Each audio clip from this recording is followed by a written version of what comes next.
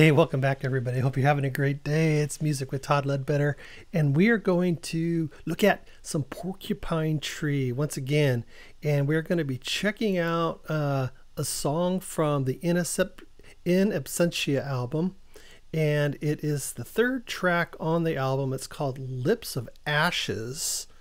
Oh boy. Uh, after that uh, Storm Corrosion song, Lips of Ashes doesn't sound very promising, if you ask me. But uh, as far as a as far as a uh, a message or a lyrical content, we'll find out. Uh, doesn't sound like a happy-go-lucky song. Um, let's. Uh, I'm gonna play an uh, just the audio version of it. There's no video or anything, but uh, that I could find. I'd like to play a live version, but we're just gonna play the audio um, from the album and check that out.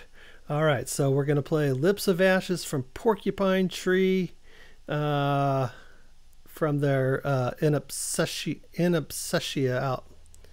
Ugh, how do you say that? It's so hard. Absentia. Absentia. All right, here we go.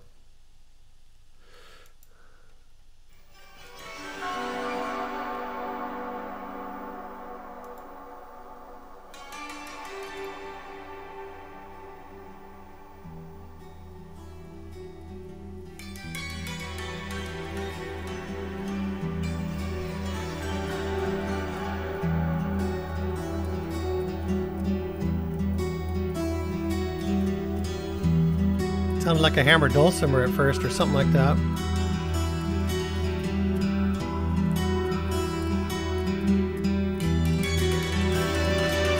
That thing. Ooh. I like those guitar swells.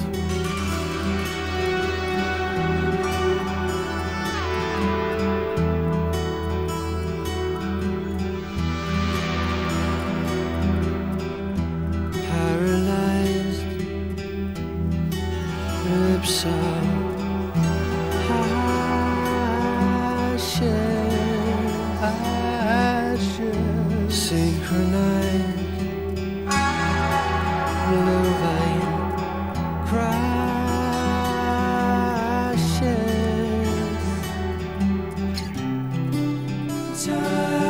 touching. Nice.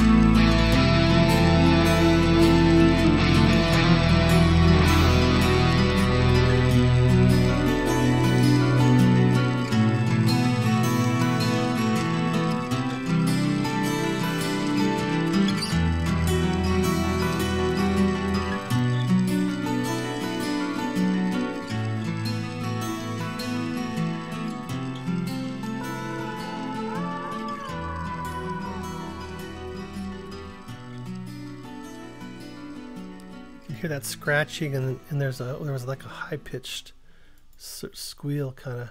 Looking for. No, I'm not looking for anything from you. Nothing.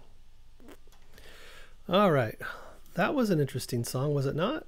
I like that a lot.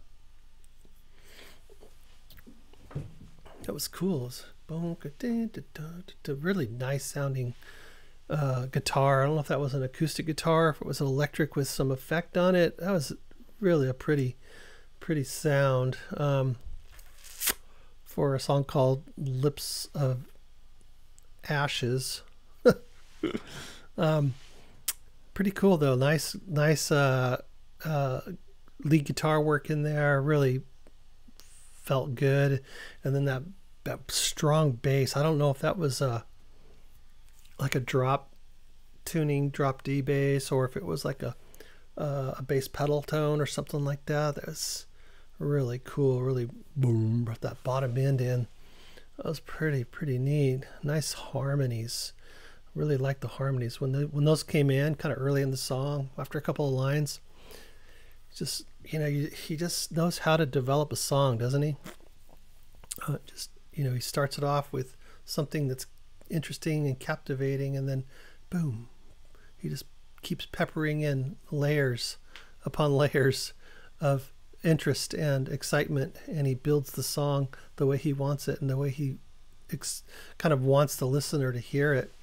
Man, he's so creative. I know I've said it before how creative he is. He's always got something different to uh, to uh, you know share i guess very cool it's not the same old thing like if some bands you know i mean so just just say acdc for example love acdc i love them i mean come on but you know you know what you're going to get you know what you're going to get there's not a lot of surprises but you know great great songs love them uh, but with um, S- Steven Wilson and Porcupine Tree, you get uh, the unexpected. I think.